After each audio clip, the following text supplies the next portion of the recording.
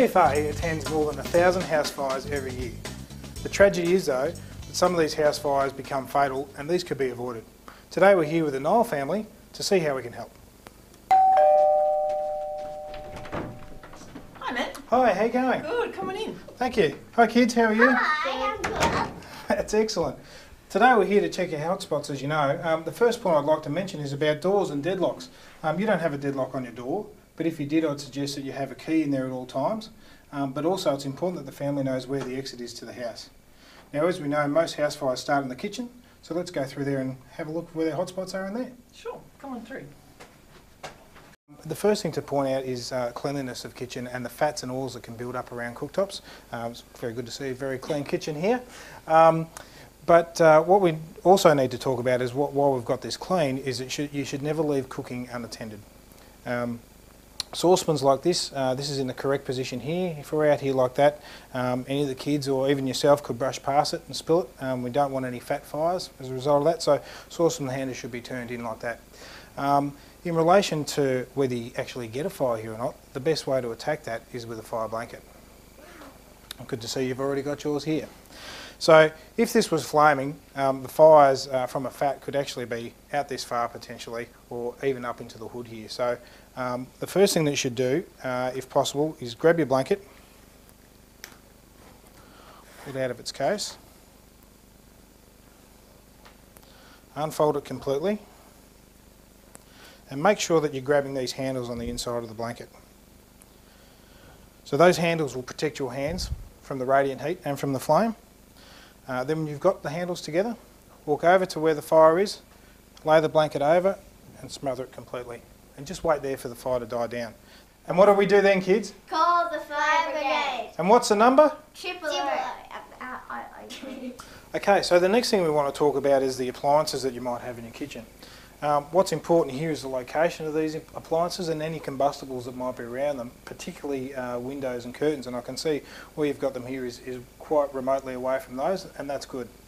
Um, the next thing we want to talk about, though, uh, about appliances is the cords and the switches that they're plugged into. Now, electrical starts are one of the main uh, causes of fires within the home, and so it's very important that these these wires are insulated, like you see here, and that insulation is consistent around the wire. So we don't want any frayed wires or any exposed ends.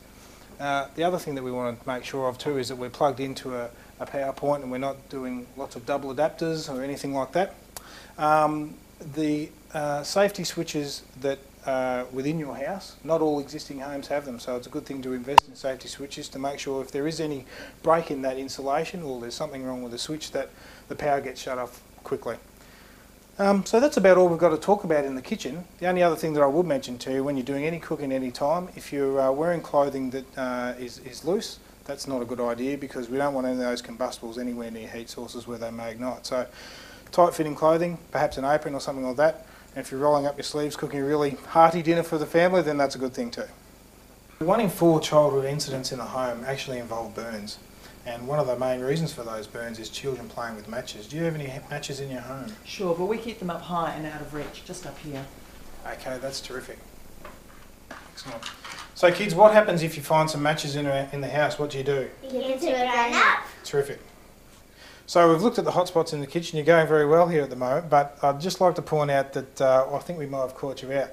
Tea towels in front of an oven like this is probably not the best idea because of the heat that could, could be coming out of the oven. So if this seal behind the door here was to was to, to break down at any stage uh, and the heat was coming out, then uh, potentially the tea towels could ignite. So best idea is to take them off the oven and put them back into the cupboard. Thanks, Matt. So we all know how important smoke alarms are to fire safety. Uh, what is important though is that these smoke alarms, when you install them, comply with the Australian standard, which is AS 3786. So when you're purchasing your smoke alarms, be sure to check on the packaging that this Australian standard is referenced. The location of the smoke alarms is also important, and that's what we're going to talk about here. But why do you think smoke alarms are important in the home, kids? Because you can't smell smoke when you're sleeping. That's right. So smoke alarm is really helping to alert you to the fact that there's a fire in your home, even if you're asleep. So once we've got the smoke alarms in the home, it's important to make sure that they're maintained. There's two ways of doing this. One is by testing that the battery power is okay, and also um, by vacuuming the smoke detector covering itself to make sure that when there is smoke in the environment, it actually can get into the detector to be detected. So I'll just demonstrate here with a household broom how you can check with the test button that's on all smoke detectors.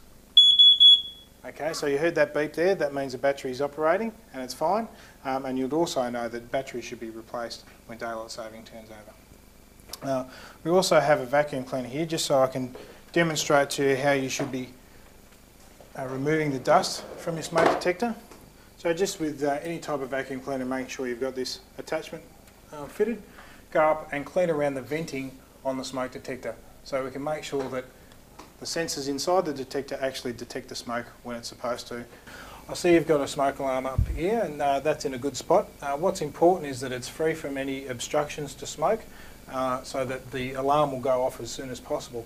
Um, two other things to keep in mind is that uh, where your smoke alarm is should be uh, outside of sleeping areas. So if you have two separate sleeping areas in the house, say, you should perhaps consider putting two smoke alarms in. But if you've got any queries about the regulations of where you should actually install them, I suggest that you speak to your local council. Everything that we've talked about today and identifying your hotspots are actually contained in uh, your home fire safety brochure that CFA produces. What a good looking family. Yes, they do seem very familiar, don't they? um, once you've identified the hotspots that we have, the, the last important point of the guide is to uh, develop your home fire escape plan. So this just tears out of the back of the guide. Um, and the idea of the home fire escape plan is to uh, draw an outline of your home. That's it. On the back or on the front, doesn't matter, just so everyone can see it clearly.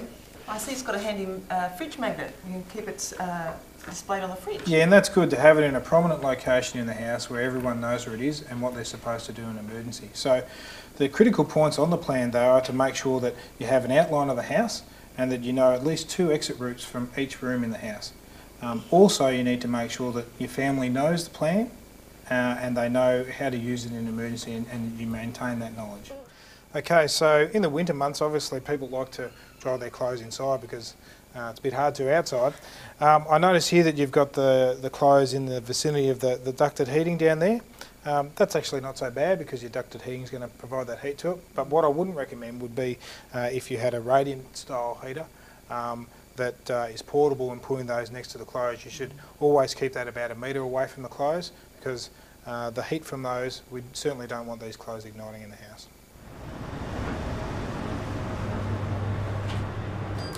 Another common fire hazard in the home that people don't often think of is clothes dryers. Um, a lot of heat's generated in uh, drying the clothes, but also uh, most clothes dryers will have a filter to catch any lint. And it's very important that after uh, every uh, cycle of the dryer that you remove the lint and clean the filter because uh, this uh, this lint is obviously very fine and can catch fire easily. So Make sure that you uh, clean the filter after every cycle, put it back in. And also, you might want to clean any of the lint that's around the door. Uh, but after taking the lint out, you also want to make sure that the, the dryer is finished its cool down cycle before you leave the home. Um, make sure that the heat is totally uh, left the dryer. Another hazard found in homes is flammable liquids. Um, the storage of items such as mineral turpentine, uh, petrol, kerosene uh, or um, methylated spirits. It's important to make sure that those items are away from heat sources uh, and pilot flames and stored appropriately. Alright, so what's important to remember, if there is a fire in your house and your clothes catch on fire, there's three things that you need to do. Stop, drop and roll, okay? So, do you think we can demonstrate those now? Okay, are you ready? Mm-hmm. Okay, go. Start, jump, Terrific. okay, so if there is a fire in your house, okay, it's important that when you're following the exit route that you get down nice and low because the smoke from the fire will be coming down, filling up the room. We want to make sure we're not breathing in the smoke, okay? So we go out the exit route that we, we know from the plan and we get towards the door.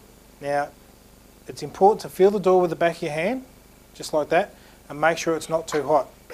If it's not too hot, then we can keep going through the door, but if it is, we need to look for an alternative exit. Okay?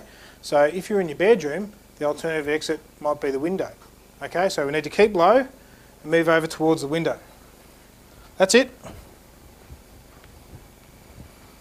That's right, keep your head down out of the smoke, okay? We've prepared the plan And in the plan that you guys have identified that the letterbox will be the place where you assemble. So if you did have a fire in the house, this is where you'd all come down to, which is great. What you need to do is make sure everyone's here and then wait for the fire brigade to attend. So if identified the hotspots in your house today, you've got a plan, just make sure you maintain it, keep using it. Thanks for your time. Thanks a lot, man. Thanks guys. Thank you. Okay. So that's our look at fire safety in the home today. I hope you've learned something. If you need any further information, you can get yourself a copy of this guideline, uh, Your Home Fire Safety, available from CFA.